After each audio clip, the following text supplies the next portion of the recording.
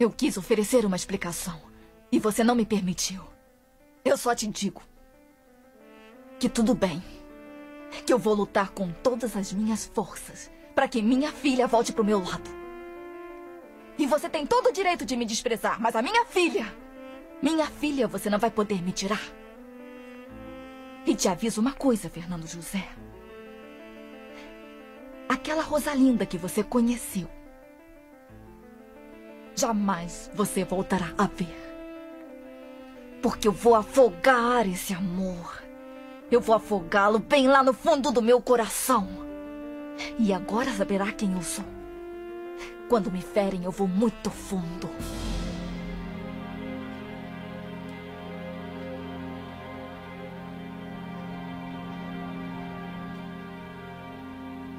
Como está se sentindo, filha? Bem, mamãe.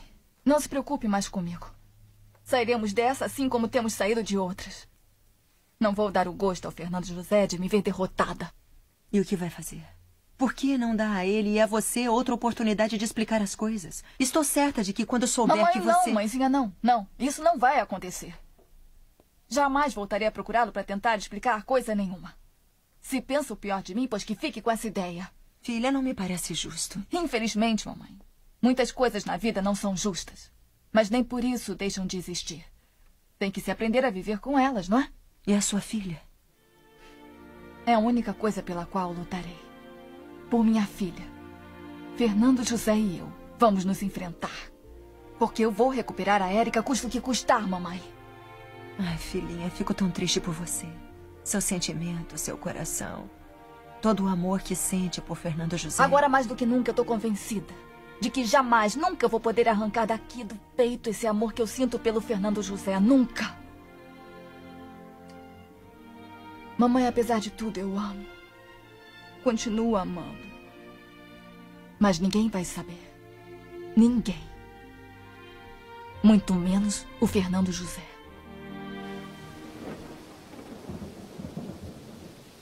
Lá embaixo estão as luzes da grande cidade. As luzes que ofuscaram a Rosalinda e pelas quais mudou o meu amor. Espero que seja feliz, Rosalinda.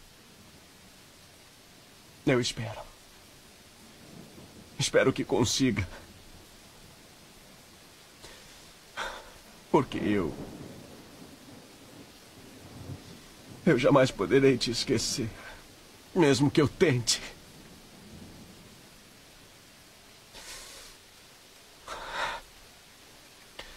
Mas jamais saberá. Eu vou te tratar da mesma forma que você tem me tratado. Com indiferença, com desprezo. Ainda que me parta a alma. Ainda que me parta a alma, Rosalinda.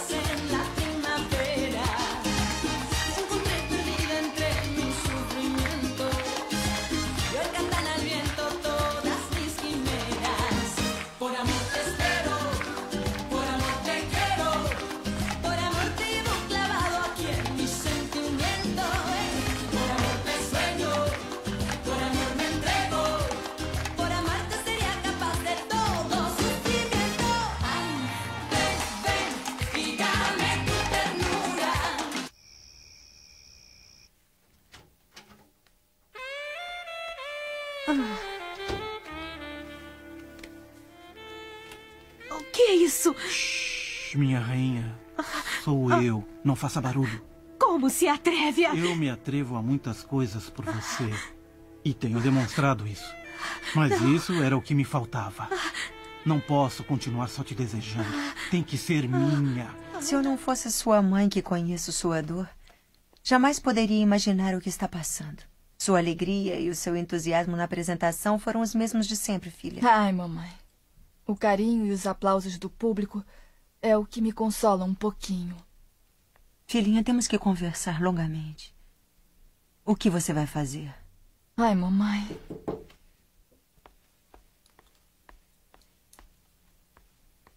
Boa noite. O que é isso? É para a senhorita Rosalinda. Quem mandou foi meu patrão.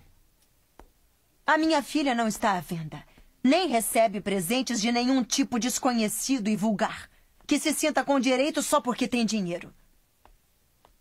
Senhora, eu não sou nenhum desconhecido. Augusto Morales às suas ordens. Vulgar é o dinheiro. Isso eu não posso negar. Mas meu trabalho sempre foi muito suave. Filha. Mamãe, calma, não se preocupe comigo. Eu tô bem. Eu vou falar com o dono da casa para dizer que decidiu continuar com a temporada. Daqui a pouco eu volto. Silvestre, vai dar uma volta. Se precisar, eu te chamo. Continua. Pensava em nos privar do privilégio de vê-la cantar. Foi uma ideia que me passou pela cabeça por um momento, mas já mudei de opinião. Pois me alegra. Assim poderei vê-la se apresentar todas as noites. Mas nem sequer viu meu presente. Vai me fazer uma desfeita? É uma joia bonita, mas. Mas eu não vou aceitar seu presente, não, senhor. Olha, Rosalinda.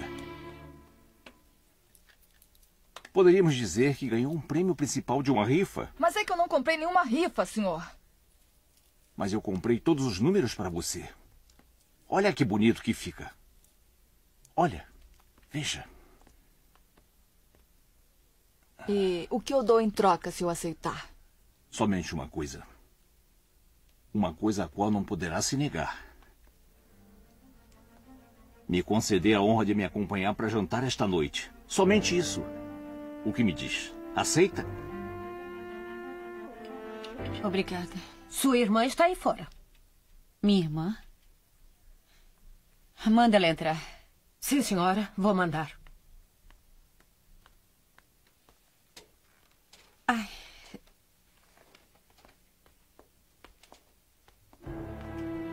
Boa noite. Oi, Vera. que bom que vieram.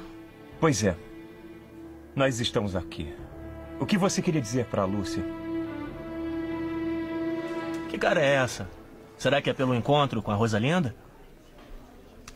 Assim como uma vez nossos caminhos se cruzaram, agora. Agora eles tomaram rumos totalmente diferentes. Me sinto tão só. Tão triste. Mas se você quer atender os seus clientes pessoalmente, como você se propôs, é melhor que você faça um esforço para mudar de expressão. As pessoas vêm a este lugar com desejo de se divertir e não para ver tristezas. Tem razão. Mesmo me sentindo mal, tenho que fingir uma alegria que estou muito longe de sentir. Bom, insisti em te ver porque nós somos irmãs.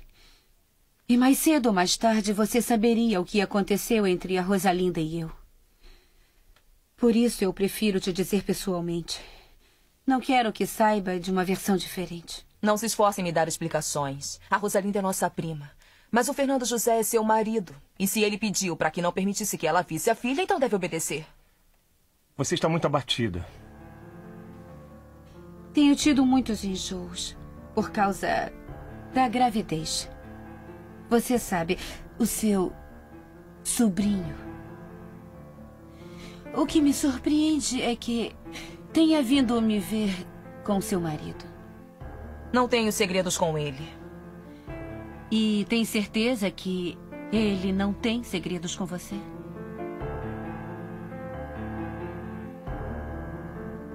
Pena que sua mãe não tenha podido nos acompanhar para jantar. Muito obrigada por pedir que a levassem em casa. Não, não tem nada que agradecer. Eu gostaria de adivinhar seus desejos, para satisfazer a todos. Ah, é? Como o gênio da lâmpada, não é? Com a diferença que eu estou disposto a satisfazer a todos eles, e não só três. Bom, poderíamos começar ficando bem à vontade. Eu sou muito franca e me sinto muito estranha te chamando de Sem dúvida, Rosalina. O que você disser. Quer jantar em algum lugar especial? É. Há um em particular que eu gostaria muito de jantar essa noite.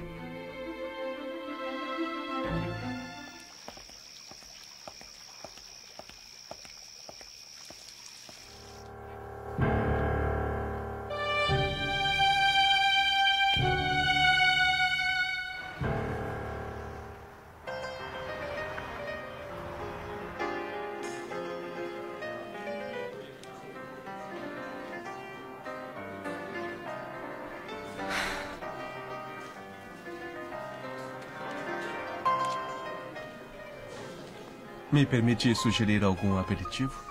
Não, obrigada, eu não bebo. Nesse caso, temos um coquetel à base de suco de frutas e água mineral. Ah, isso é melhor. Obrigada. Por favor. Um coquetel especial para a senhorita e outro para mim, por favor. Pois não. Obrigada. Me permite acompanhá-la? Achei que os empregados não pudessem conversar com os clientes. Enquanto eu for o dono daqui, sim. Nossa, que surpresa. Eu me chamo Luciana. E eu, Fernando. Fernando José.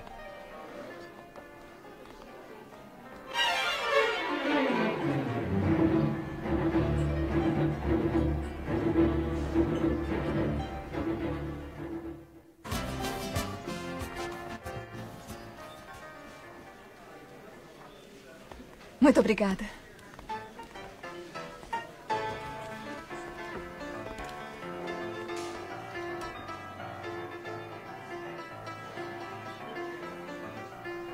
Que mulher bonita.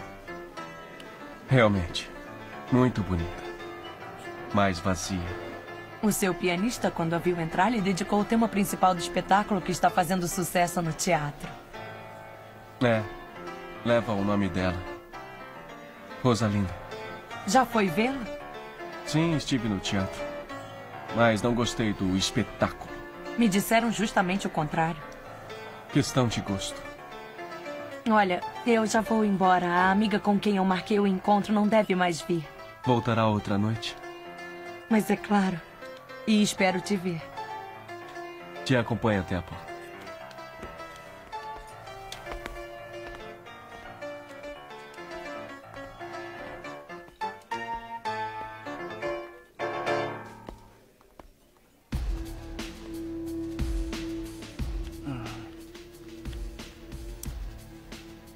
Onde você foi?